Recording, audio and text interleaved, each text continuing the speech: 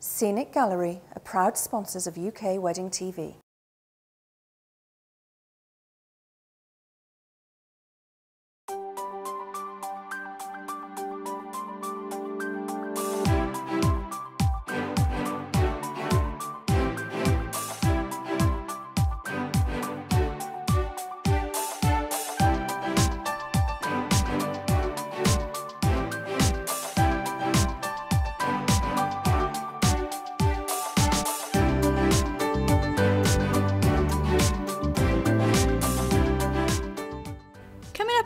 Today's show, we'll be getting some winter wedding tips from the Mr. Mrs. team at their wedding fair. We'll be chatting to expert cake designers Samantha and Kerry about customizing your winter wedding cake. And finally, we meet married couple Sarah and David. They decided on tying the knot during the winter, but their wedding couldn't have been whiter as heavy snowfall resulted in some last minute changes. Would they recommend it? We'll find out later in the show. Welcome everybody to Mr. Mrs. at White Wedding Fair. Um, here I'm here with the team today with a lot of exhibitors, um, lots of inspiration for brides out there. This is our designer Jack over at the magazine. This is my sales manager Heather, my co-events organiser Katie, and Michelle, my resident photographer. Obviously, with the biggest inspiration of today's wedding fair was looking at winter-inspired weddings. Obviously, the woodland theme, the white, the snow. Obviously, I think every bride, if they're getting married in the winter, do wish for snow, but it's obviously not guaranteed in this country. So the biggest importance is bringing those bits and pieces that make it that winter feel without having obviously snow on certain things. So we've tried to really incorporate that from dresses to makeup to you know arriving on the day. Uh, we've got loads obviously to do, so we're going to get out there, get and meet with the brides, but also then you know interact with the exhibitors as well, see what's going on.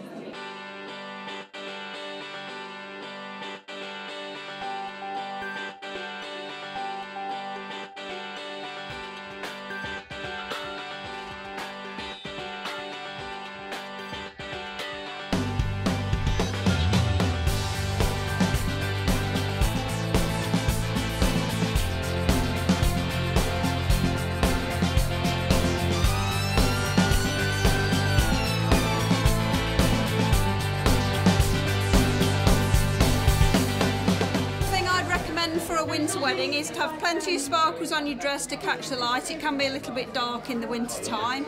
Also, make sure that you go for something with a nice bit of volume, just so that you're the bride, you're the centre of attention for the day. And then lastly, think about something to perhaps cover your shoulders just to keep the chill away.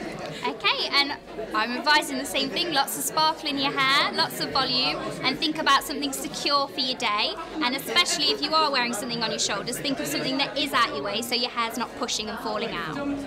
So to start off for the vintage look for winter, we would start off with a base coat. So that's choosing your foundation.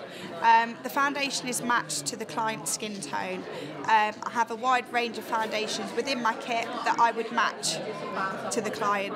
Um, quite often, people like a sort of a shimmer and a glow in winter because obviously it's cold and they want to look still a bit summery in a sense. They want to look like they've still got their summer tan. So we do the base coat with a bit of bronzer on the cheeks and then all over. And then we top that off with blusher. Then, if we're going with the vintage theme, the vintage is uh, very subtle. So it's not necessarily eyeshadow. It is literally just liquid liner in a flick. So you can have many different flicks depending on what you'd like. Some people like thin liner, some people like thick. Um, a lot of people, if they have the Victory Rolls hairstyle, so it's all sort of up and out the way, um, it looks really nice to have sort of like a subtle flick so that when they look down, all you can see is the eyeliner. Um, what we'd then do is we would outline the lips and then do uh, a lipstick with a gloss over the top. To go with the vintage look, we quite often use red because it stands out and it just looks absolutely stunning in winter. So we would do red liner and then over the top a red lipstick and then either a clear gloss or something with a little bit of a shimmer.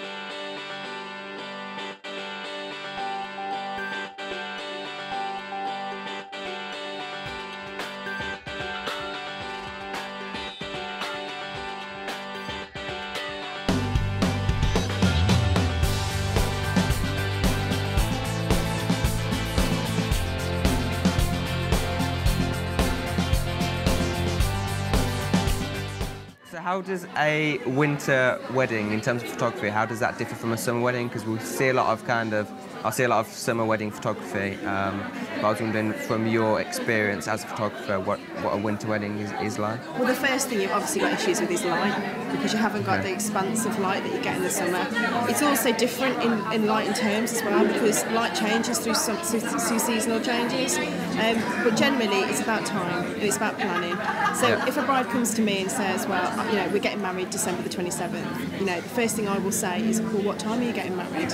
And if they say three o'clock, obviously I- straight away I'm thinking about lighting situations because by three o'clock at winter, you know, Yeah. we're losing a lot of light and the days are much much shorter. So what takes precedence for the winter wedding is the venue really. Um, you have to think about your venue a lot more because it might be that it's raining or it's snowing or you know you can't necessarily take a whole group of people outside.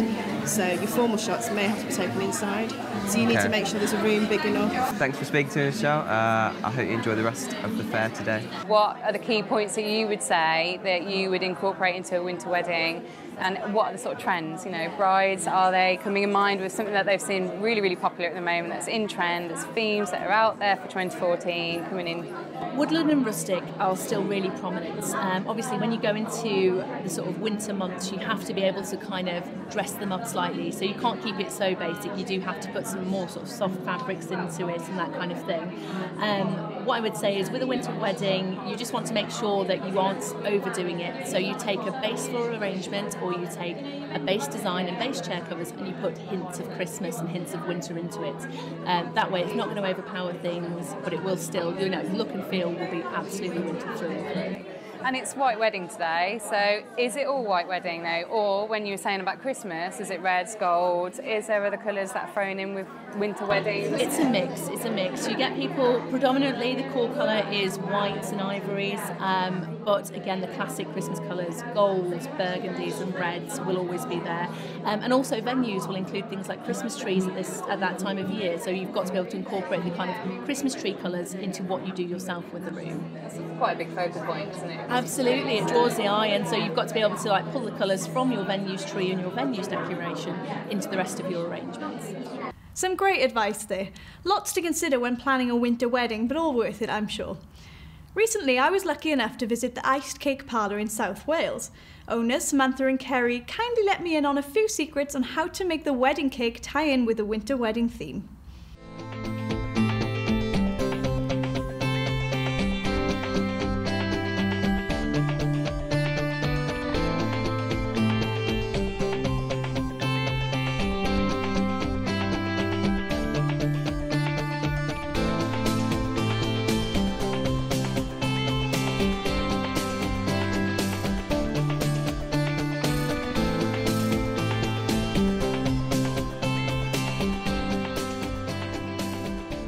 Here with Kerry and Sam. Um, would you like to introduce this this lovely Yes, creature here? um, his name is Sven, Sven. and that's Olaf. Olaf. So this is pr- sort of breaking traditions of, of normal cake making, really. You know, Yeah. instead of the tiered, people can opt for, for something as amazing and as extravagant as this. What, what are the trends that people are going? Do you think people are breaking traditions now? Do you think Yeah. you know they're opting for things other than that tier cake? Yes. A lot of people are moving away now from the round or squared tiered cakes and they, they are going for more themed weddings. And this would fit in perfect with a winter wonderland that would be spot themed on, wedding. yeah, I think with a little bit of humour and quite whimsical. Okay. Um, I know lots of alternative weddings um, are becoming trendy at the moment um, uh, with like naked wedding cakes and teepees and um, you know something out of the box really. Mhm, Okay. So this is obviously one of the many ideas that you can have for your wedding. Should we go and discuss more ideas for cakes, um, for the flavours and colours and things like that? Yeah. Have you yeah. got any cakes to show me as well? Yes, yeah. Brilliant. Let's go and have a look.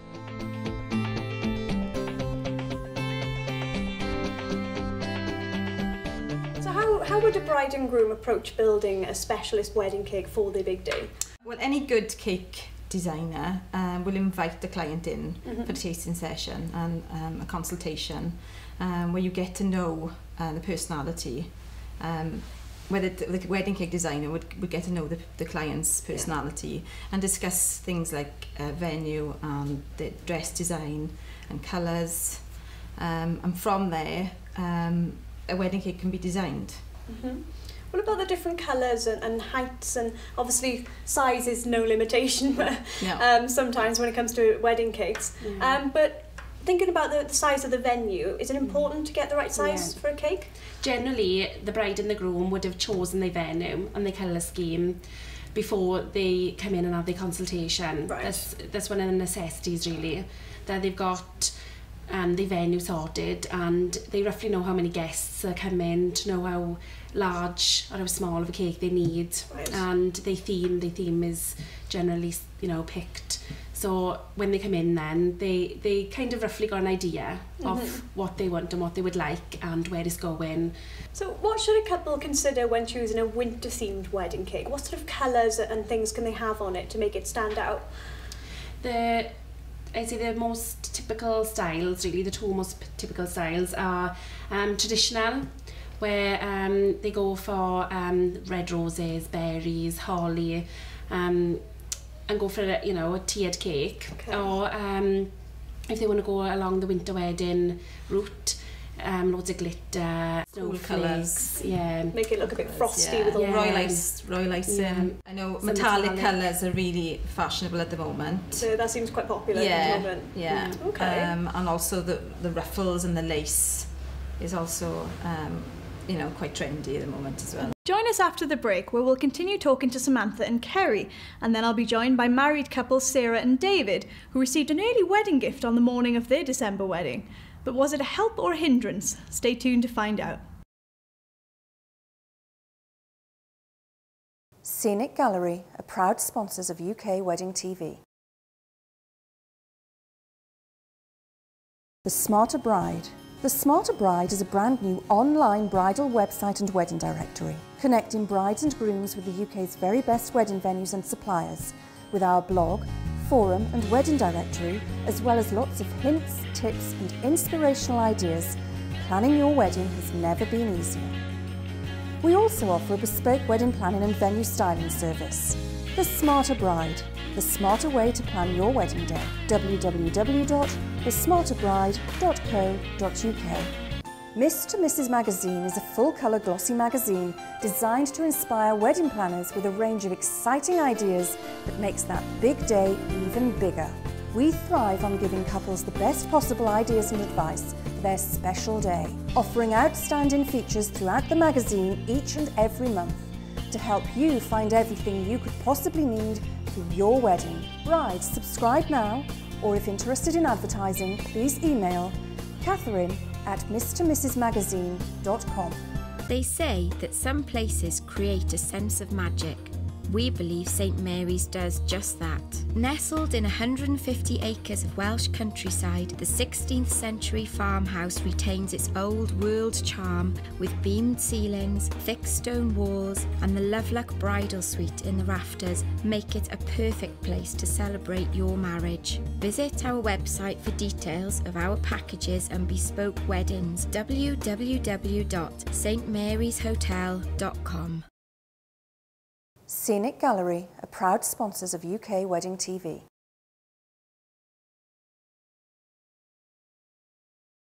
So when choosing a, a winter wedding cake, what, what are the different flavours you could go for to tie in with the theme of the wedding?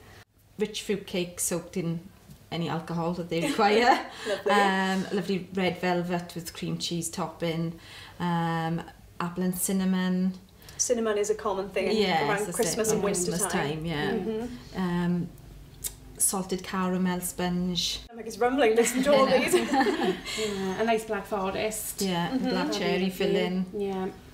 It's quite fashionable at the moment, isn't it? Yeah. Have you ever done a mince pie cake before? Actually, yes, yes one, we yeah. have. Oh, Yes. Oh, brilliant. Yeah, and a brandy buttercream. Yeah. That'd be yeah, something I'd like that's to try. Popular, yeah. Mm. yeah, lovely.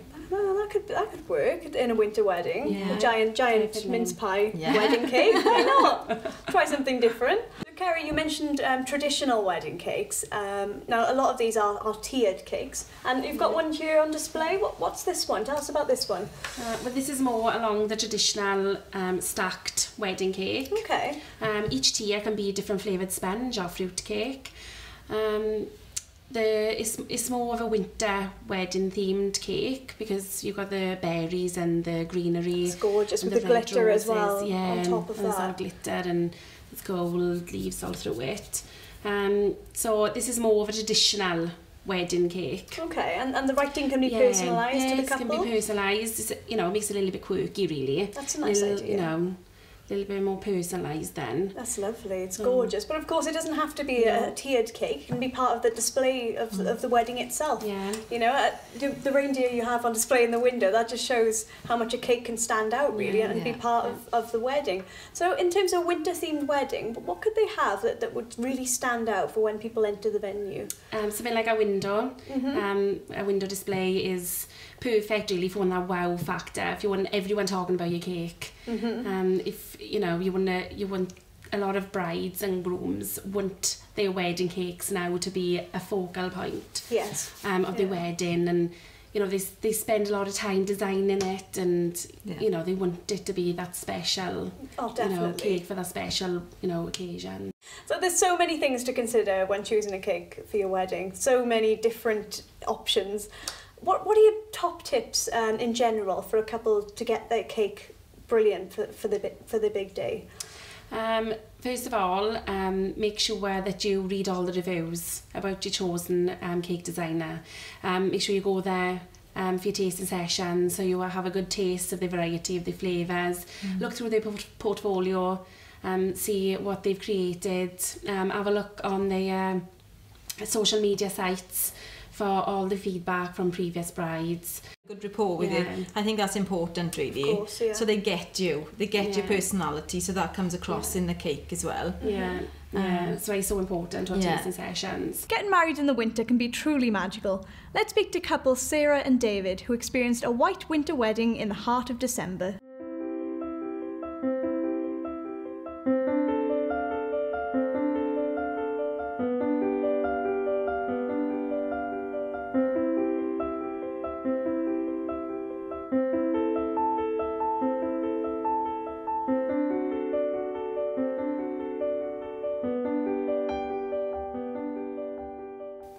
I'm here with Sarah and David, who decided to tie the knot in December for a winter wedding.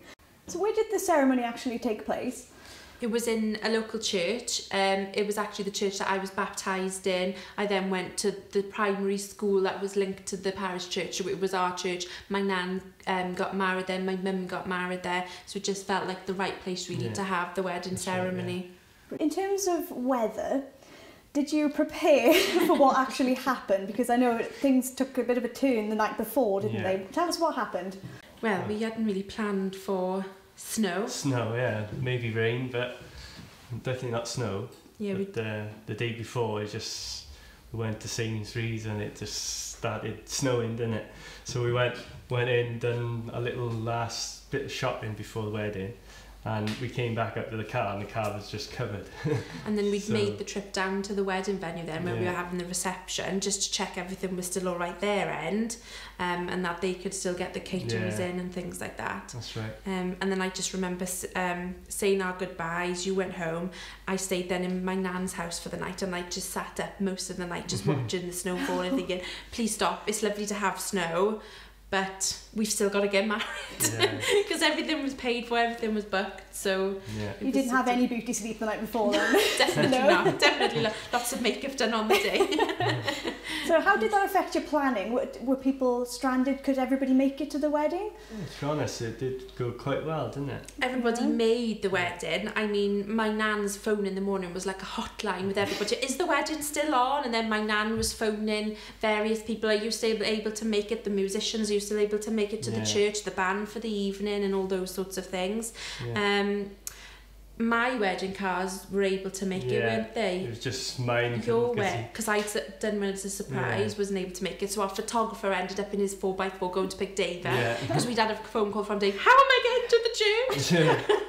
yeah. So our photographer went to pick Dave up and the best man and took them to the church. Mm. So it was a bit hairy, a lot of stress added to the morning of getting ready.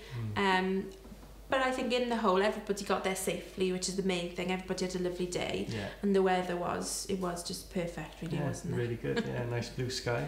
So you went from the ceremony to the castle ruins of Neath Abbey. What a beautiful place. That's where you had the photographs done, yes?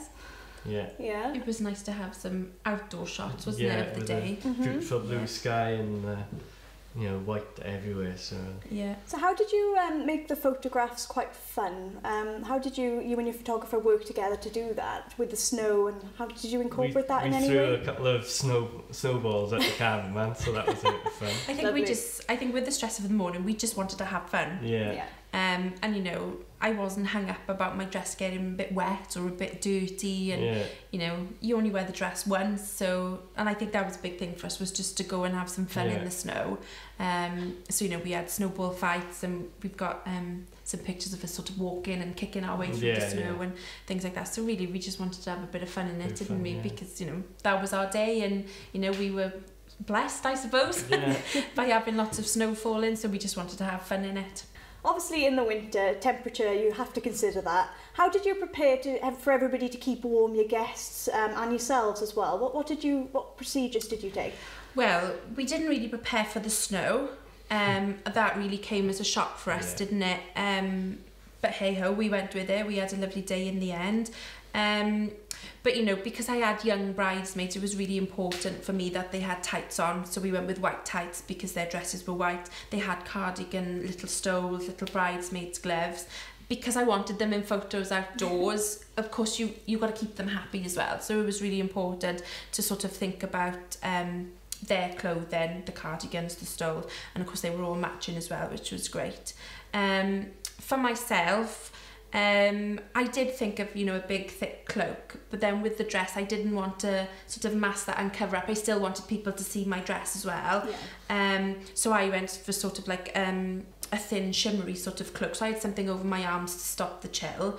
Um, but I think with the adrenaline of the day, it just sort of carries you along, and with Yeah. all the weight of the dress anyway, it wasn't too bad, was it? No. And I think you were all right in your suit. Yeah, quite uh, thick Coat, uh, was fine. You had a few extra yeah. layers in your suit, did you? Yeah, certainly, yeah. But one thing I didn't prepare for were my wellies. yeah.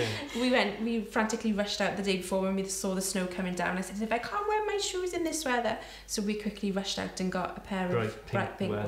wellies. I think I would have gone for red if I had time to prepare. Of course, yeah. to go, to go with everything, yeah. Yeah. But pink was the colour we found, Yeah. so I had bright pink wellies on, which were a godsend. No, I can imagine. You've got to be practical, haven't you? You know, and you're, you're still going to look great no matter what. So Well, they were under my dress. yeah, it's fine. They're well hidden. So everything considered, I personally think the snowball's a blessing for your wedding. Um, Yeah. What do you think your sort of tips or advice that you'd give to a potential um, couple planning their wedding now? What what things should they consider before planning a winter wedding? Well, it's a lovely time of year to get married, isn't But it? Be Um, prepared for yeah. any sort of weather. You know, Expect the be it- unexpected. Yeah. Be it? I it mean- rain or snow. That's right, because we'd Yeah. sort of anticipated rain more than Yeah. anything. So we'd bought um, white umbrellas for guests from the church to the minibus and that Mm. sort of thing. We'd bought bride and groom umbrellas because Yeah. we thought, oh, we could have fun with those, having photographs and things like Yeah. that. Even though we didn't need them in the end, um, it was useful to think of those sorts of things because yeah. guests might not necessarily bring an umbrella with them. And they might all have different colours, so it's nice to match, match yeah. the theme. Just right. just right yeah. um, and obviously with the young bridesmaids, it was the clothing they were wearing. They had the flat shoes, the full um, because obviously it was a winter wedding they didn't have strappy sandals they mm -hmm. had mm-hmm. full shoes and mm -hmm. um, tights and cardigans and gloves and things like that. So that was really important to think there. How far in advance do you think they should book the venue? Because obviously, especially December, that's a very busy month for, for everywhere, really. I suppose it all depends the venue that um, they like and they want to choose. Obviously Yeah. because you know most popular venues get booked up um, Yeah, quite a bit but in you've got to advance. be ca- quite careful with Christmas parties, obviously, around Yeah. the December time Yeah. as well. Yeah. So. Is it worth asking the place whether they'll take on Christmas parties for the same night? Yeah. So it's Yeah, best to secure the definitely. venue just for yourselves. Yeah. Okay. Well, it's been lovely talking to you both, Sarah and David. I hope married life has been treating you well so far. You're still together, that's a good sign. oh, it's been lovely meeting you, and I wish you all the very best for your married life. And yeah, good luck. Have a Thanks lovely very. Christmas. Thank you. Thank you. Well, that's all we have time for today. But if you want to get involved in the show or have your wedding featured, head on over to the UK Wedding TV website and follow us on Facebook and Twitter for the latest information. From all the team here, thanks for watching.